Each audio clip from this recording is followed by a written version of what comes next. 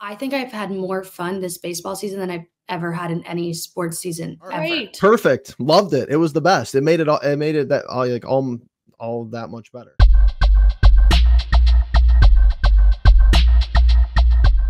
Cleveland fans, welcome back into the Cleveland Pulse YouTube channel. I am joined with a very special guest today, Gabb Goudy. Welcome into the Cleveland Pulse. First appearance on the channel. I'm excited, glad that you were able to sit down. We were to make some time here today to talk about our beloved Cleveland sports. I know you work with FanDuel. I know you're a Cleveland sports fan. What else, before we get started, what else should I know about you as far as you being a fan of Cleveland sports? That's basically all I got right now. That's that's basically it. That's all out. you need to know. I Cut- I, I cut yap on the internet. I like Cleveland sports. Sometimes I hate Cleveland sports, but I do love them. We're going to talk about that. We're going to talk about what makes uh, desirable sports fan base and, and stuff like that. And uh, if you have any advice about, you know, if you could give any advice to Cleveland sports fans, but we'll talk about that in a little bit. To start here, I want to gauge your your general thoughts on a scale from one to ten.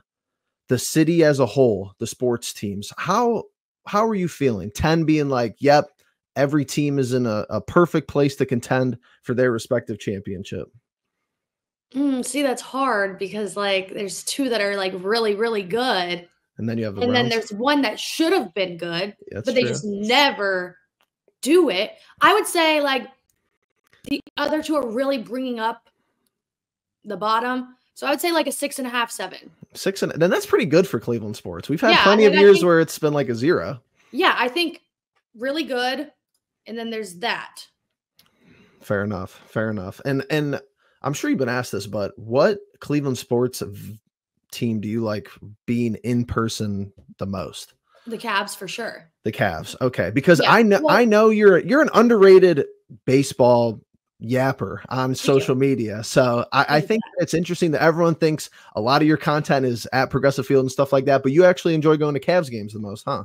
I would say baseball playoffs are my favorite, but if I'm just going to like a regular game, I mean, like Guardians games are great. I would never say that they're not, but just the Cavs experience is a different thing. I feel like NBA experience is different. You're inside, there's entertainment at all times. Right. I don't know. It's just a different environment. They shoot the fire off at the beginning. Yeah, the like intros are It's a whole production. baseball. Maybe it's just a baseball has like a, a branding and marketing issue almost. Like yeah, if- and there's like a lot of downtime too. Not as much now, but Right, still, like right. Know, There's- there's moments of of baseball games where I'm like, okay, when when Andrew Miller when his entrance used to happen and and when closers and and people like that would come into games, I feel like that's like the peak of baseball like Yeah. watching as far as like the storyline. Obviously, you have your home runs and your scoring runs, and it's a lot more momentous in a in a Mhm. baseball stadium when something is happening because you could go you could go hours without anything happening. Where in basketball, it's a little bit more fast paced. Yeah. Let's let's stay on that actually. You have an interesting little phrase, "wote," worst of all time. I know who you're talking about, and if for people who don't know what she's talking about, or if you haven't seen Gabb over on Twitter or on X, go go look at her profiles. They'll be linked down below, but you'll you'll find out who's who she's talking about. My question is, as far as fan culture, what in your opinion do you find like commendable or what do you think is like the best part about when you go to other stadiums or when you see other teams play what are like the best characteristics as far as their fan bases compared to what do you think is like oh this is what makes a sports fan base really really bad Mm, it's just like how they talk about their players. I feel like it's the Okay. main thing. I know sometimes we'll say like awful. I mean, we have we literally got scolded by the media for a whole week about our fans. that's true But I feel like a lot of fan bases don't appreciate their teams or what they're doing. I feel like we as a Cleveland sports community, we do get upset, but we attend and we appreciate and we have fun. And I don't think some of like the bigger market teams, you don't have that because it's not the same community. Like you, uh, like a Yankees fan,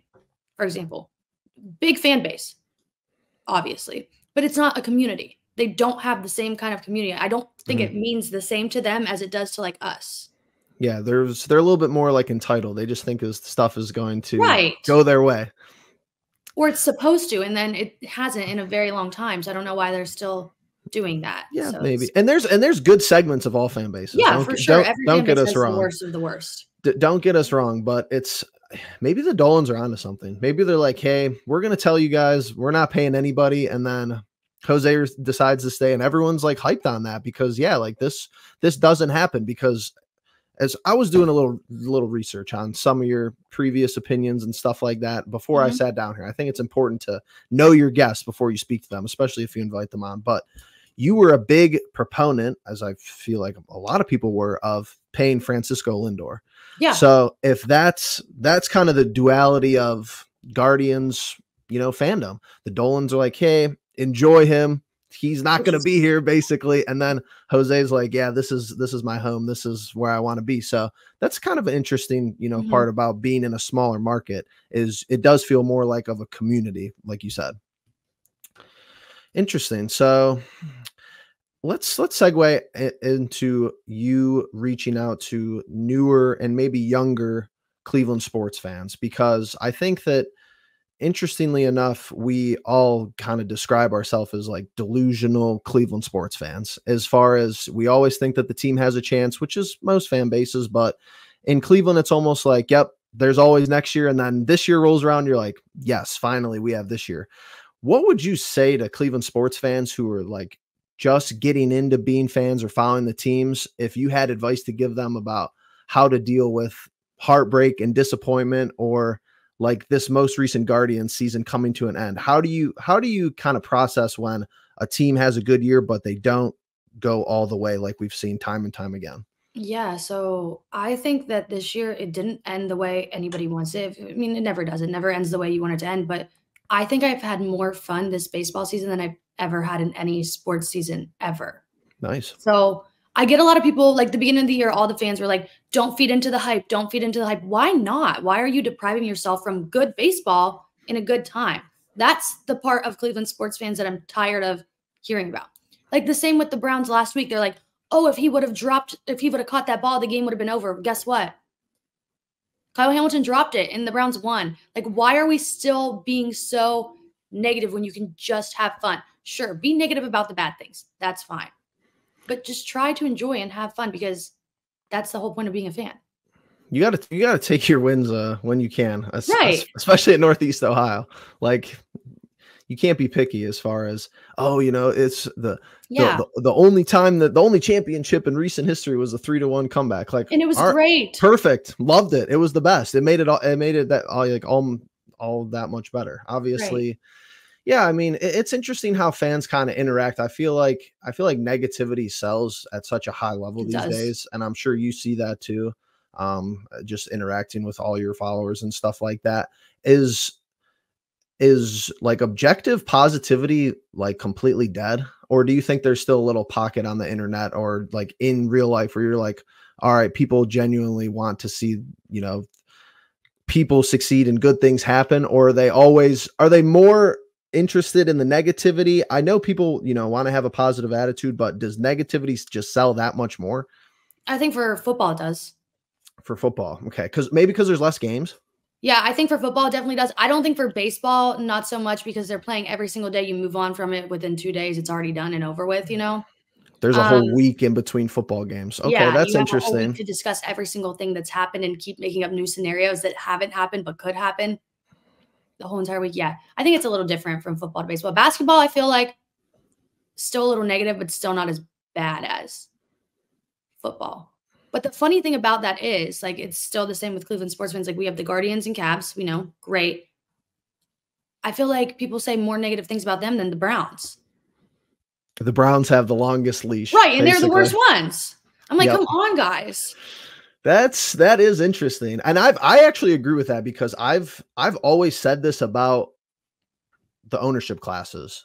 Like you don't have to agree with me. You don't have to be like in love with the Dolans, but the Dolans, Chris Antonetti, whoever it may be, the Guardians have been the most competently run franchise in the city for for the last decade, if not mm-hmm. longer. The Cavs have been pretty good. You yep. know, you know, good. I, am a fan of the ownership group over at the Cavs. I don't yep. think I could say the same for you know for the Browns for yeah, the most part. And and Andrew Berry, I, I like. I, I don't have any issues with Andrew Berry. I don't know if he's the best general manager in the city. I I thought that he had some interesting decisions, and I think that he's provided stability at least for the most part, if you want to call it that. But the front office of the Guardians, the ownership group, they've always done the most with less. So that's why I've a lot of people don't really, you know, pay attention to the baseball team in the city. And yeah, I get it. There's so many games and the games are long, even though we're on the pitch clock now and stuff like that. But I just, it's interesting to me how fans kind of talk about the three teams in the city. And that's a good point. Like you said, why, why do you think that is though, that the Browns, is it because they've been bad for so long and now they're like deep, like they've been decent or above average these past couple of years? So now everybody just is giving them the benefit of the doubt. I, I I don't know. I think it's just a false hope that these people have that eventually something's going to work out, but it just still hasn't, and they keep holding on to it, which I hope it does. Right. Because like these people deserve it. They've seen the worst of the worst, but I'm just not. I'm not going to buy into it because I already know what's going to happen with them. And it's interesting to me because it feels like when they're the only team where the big move hasn't really like worked so far. Right. Like I guess the Guardians, you don't really have a sample size, but you know, like yeah. we talked about, you retain Jose. That's been good. It, mm-hmm. You know, mm-hmm. he's he's he's one of the best players to ever, you know, play baseball um in Cleveland, you know, in my opinion. Yeah. Donovan Mitchell, that looks like it's working out great. great. Yeah, that's um, been great. 5 and 0 off to a hot start. The decisions that, you know, the Browns have made regardless of of how you, you know, of of what you thought of them. They just they never seem to work. Even going all the way back to you know Odell Beckham Jr. Was that like was that great? Like, all right, cool. There's a big marquee receiver. We basically, you know, he had to come to us because we traded for him, but you know, it just hasn't. It never seems like it it works out for the team that plays on the lake. So, how do you how do you feel about the the um the stadium moving? I think it looks good. I think it the use of it will be nice. It looks good, but um I just feel bad that people have to pay so much money for the product that they're getting. Right. Not it, the stadium, the product on the field being played within. That's that's been my issue this season too because all the timing has just been wrong. Like you're 2 and you're 2 and 5 or you were 1 and 5, 1 and 6, 2 and 6 and then oh like yeah we're gonna move the stadium yeah and we want you guys to pay for it yep like i was just annoyed by the sequencing and the timing of everything because just right like just stop trying to distract us from the fact that this is just this is terrible Disaster, this has been yeah. so bad so far and all you want to talk about is oh the future the future like this we've been talking about the future with this mm-hmm. franchise for forever so I got a couple more questions here. I'm not going to take up too much of your time. Yeah, no, you're fine. I also think they're in like a really sorry, I was going on no, another tangent. I think they're in a really awkward position now with Jameis Winston starting because obviously he had he played better. He was clearly better with the offense. But I think it puts him in a very awkward position now because do you want to keep winning games? Like, what do you do? Any team that's two and six is going to be sellers, and you're trying to get a draft pick, but I don't know if that's going to happen now. Right, right. Do you? People do you, are also trying to save their jobs. Yeah, and people are trying to, you know, make sure they get that next contract. That's what makes the NFL interesting because they is there tanking. Sometimes there's strategic yeah. tanking, but yeah, I mean, the the most the most Browns thing that can happen this year is that we're like so we have like seven or eight wins and we get like a mid first round pick. Yep.